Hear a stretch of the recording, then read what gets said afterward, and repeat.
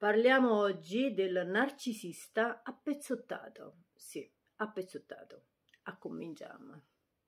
Questa ispirazione mi è venuta ieri durante una live. Dovete sapere che ovviamente il tema del narcisista è un tema che mi affascina parecchio e quindi mi piace quando scopro sempre eh, cose nuove su narcisista. Ho scoperto che ci sono due tipi di narcisisti, ma non lo so se ne sono di più, però io personalmente ne conosco due.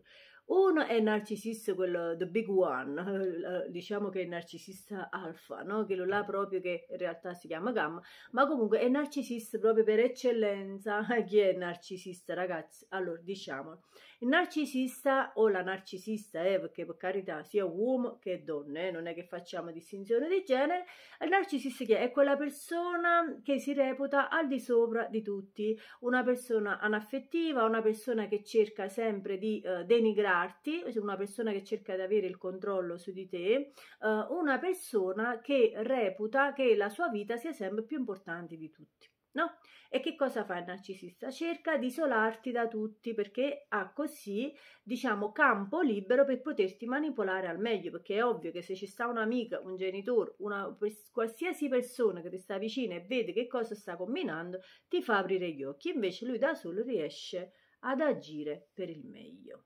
Questo tipo di narcisista riesce anche ad avere storie lunghe, perché voglio dire, perlomeno è coerente, cioè è un narcisista che, che lei quell'è, cioè lui è superiore a tutti e va avanti così per tutta la vita, no?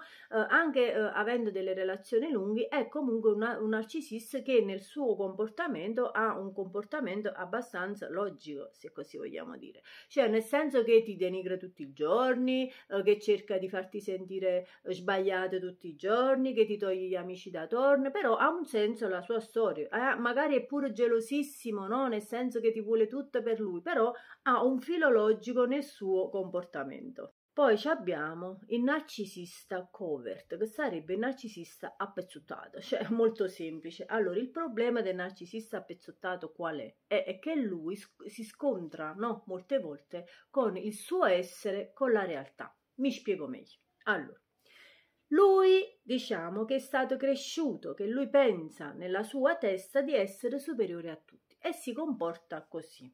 Però quando è da solo è consapevole che non è veramente come lui crede di essere e questo fatto lo manda in crisi.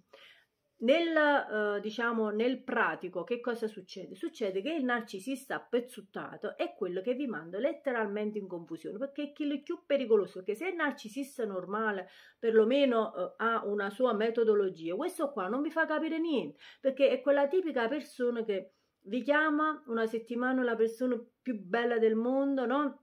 La persona che uh, vi ama, ma poi bella e buona sparisce. E quella persona che dice che vuole con voi una famiglia, poi all'improvviso non è sicuro uh, se ti ama. Differenza con il narcisista normale, che il narcisista vuole stare con voi, no? E, e perlomeno, uh, anche se all'inizio pure lui fa questo love bobbing, cioè vi fa questo bombardamento d'amore, poi piano piano se ne scende e vi tratta male, però vi tratta male un po' alla volta tutti i giorni, comunque sta là no?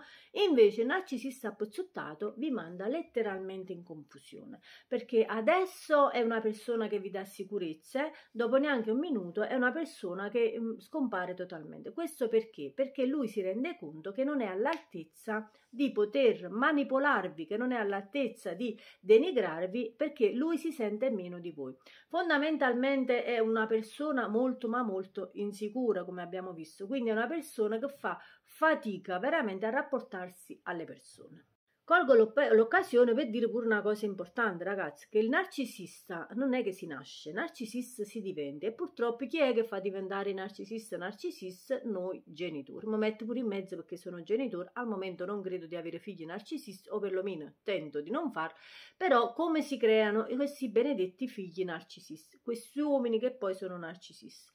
Ci sono vari modi, ma diciamo che io ne ho semplificati due. Ovviamente ricordiamoci sempre che non sono una psicologa, che questo non è il mio campo, che questo non è la mia professione, sono semplicemente eh, le mie esperienze, le mie curiosità, la mia cultura personale. Allora, come si diventa narcisista? Quando si ha una famiglia che o è troppo o è poco. In che senso? Quando c'è una famiglia che vi crea delle aspettative altissime, quindi una famiglia dove dice tu sei il più bravo di tutti, tu sei più intelligente di tutti, tu puoi fare sempre più di tutto, tu sei bravissimo, tu sei il più bello del mondo, no?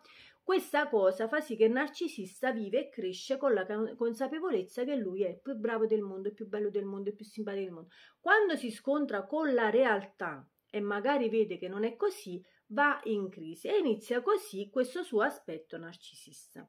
In caso contrario, invece, quando una famiglia svaluta no, il proprio figlio, quando gli dice tu non sei abbastanza, magari quel ragazzo ha pure preso 8 per farvi un esempio, in una materia, però dice no, tu puoi fare di più. Quindi questo senso di non essere mai abbastanza, questo senso di essere sbagliato, questo senso di dover sempre uh, accontentare i genitori, questo senso di um, riuscire in qualche modo a conquistarsi l'affetto, fa sì che lui um, come dire, uh, va ad affrontare questo suo malessere in un altro modo e come cercando di avere controllo sulle persone, una cosa che lui non ha mai avuto. Quindi ognuno reagisce in un modo, diciamo, molto personale. Prima cosa, ragazzi, perché è vero che bisogna riconoscere i narcisisti, ma bisogna anche prevenire i narcisisti, che è la cosa più importante, perché una volta che ci siete caduto mano e piedi diventa veramente difficile starci insieme, ma soprattutto difficile lasciarlo.